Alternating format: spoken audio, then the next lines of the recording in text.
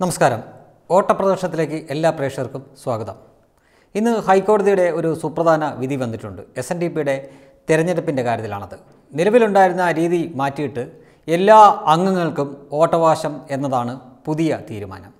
അതിൽ തീർച്ചയായിട്ടും വെള്ളാപ്പള്ളി നടേശൻ അത് ആ വിധിയിൽ സന്തോഷവാനല്ല എന്ന് അദ്ദേഹത്തിന്റെ പ്രതികരണത്തിൽ നിന്ന് തന്നെ മനസ്സിലാക്കാൻ പറ്റും.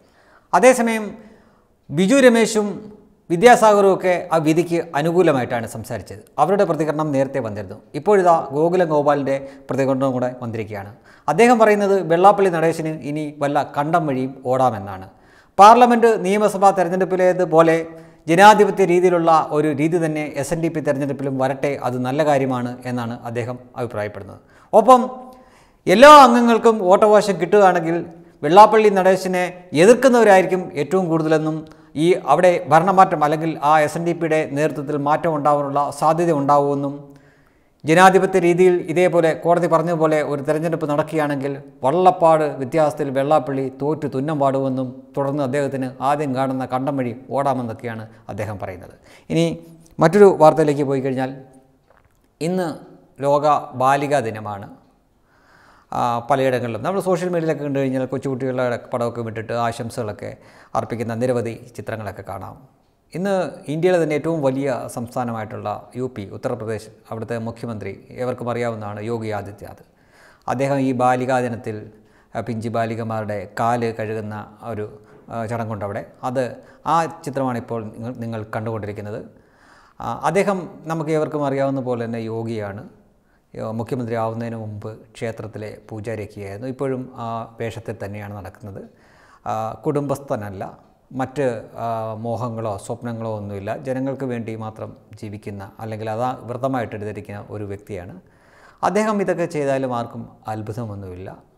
ഓരോ അവസരത്തിലും അദ്ദേഹം ജനങ്ങളെ ഇതേപോലെ ഉള്ള കാര്യങ്ങൾ ചെയ്ത് അമ്പരപ്പെടുത്താറുണ്ട്. അതിലൊന്നായിട്ട് മാത്രമേ അദ്ദേഹം അത് കാണുന്നുള്ളൂ. പക്ഷേ മറ്റുള്ള ഇന്ത്യയിലുള്ള ജനങ്ങൾക്ക് ഒരു സംസ്ഥാനത്തെ മുഖ്യമന്ത്രി ചെറിയ കുട്ടികളുടെ കാലൊക്കെ കഴുകി അവരെ ഇങ്ങനെ പൂജിക്കുന്ന അല്ലെങ്കിൽ അതേപോലെ ആദരിക്കുന്ന ഒരു കാഴ്ച അത്ഭുതകരമായിരിക്കും എന്ന കാര്യത്തിൽ തർക്കമൊന്നുമില്ല ഇനി നമ്മുടെ സംസ്ഥാനത്തെ കോവിഡിന്റെ കണക്ക് പറഞ്ഞാൽ ഇപ്പോൾ കോവിഡിന്റെ കണക്കുകളൊക്കെ വളരെ വിചിത്രമാണ് നമ്മുടെ സംസ്ഥാന സർക്കാരുകൾ.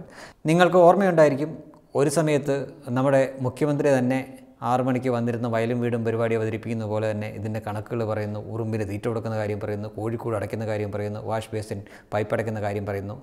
ഇപ്പോൾ വീണ്ടും അഞ്ച് വർഷത്തേക്ക് അവർക്ക് ഭരണം കിട്ടിയതിനാൽ ഇനി അഞ്ച് വർഷത്തേക്ക് ഇതിന്റെ ഒന്നും ആവശ്യമില്ല എന്ന് മനസ്സിലായി. അതുതന്നെയല്ല ഇപ്പോൾ കോവിഡ് അങ്ങ് പിടിവിട്ട് പോവുകയാണ്. നേരത്തെ പോലെ ബി ബി സിയിലെ അവാർഡ് വേണ്ട സി എൻ എൻ അവാർഡില്ല വാഷിങ്ടൺ പോസ്റ്റിലെ അഭിനന്ദനങ്ങളില്ല ഒന്നും അവർക്ക് വേണ്ട എന്നുള്ള സ്ഥിതിയിലായി യഥാർത്ഥ ബലഹീനത വെളിവാവുകയും ചെയ്തു. എന്തായാലും ഇന്നത്തെ കണക്ക് വന്നിട്ടുണ്ട്.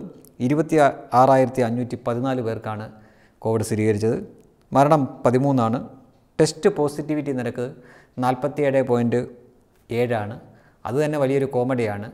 പലരുടെയും ഈ ടെസ്റ്റ് പോസിറ്റിവിറ്റി നിരക്കൊന്നും എടുക്കുന്നില്ല. തിരുവനന്തപുരം പോലുള്ള സ്ഥലങ്ങളിൽ ടെസ്റ്റിന് ചെല്ലുന്ന എല്ലാവർക്കും തന്നെ കോവിഡ് ഉള്ള ഉണ്ടാ ഉണ്ട് എന്ന് കണ്ടെത്തുന്ന ഒരു ദയനീയ സ്ഥിതിയിലാണ്. തിരുവാതിരയും മറ്റുമൊക്കെ നടന്ന സ്ഥലമാണല്ലോ സ്വാഭാവികം. എല്ലാവരും സുരക്ഷിതമായിരിക്കുക.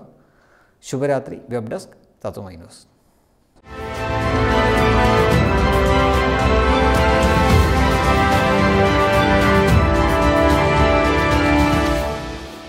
കൂടുതൽ വാർത്തകൾക്കും എല്ലാ പ്ലാറ്റ്ഫോമുകളും ലൈക്ക് ചെയ്യൂ സബ്സ്ക്രൈബ് ചെയ്യൂ.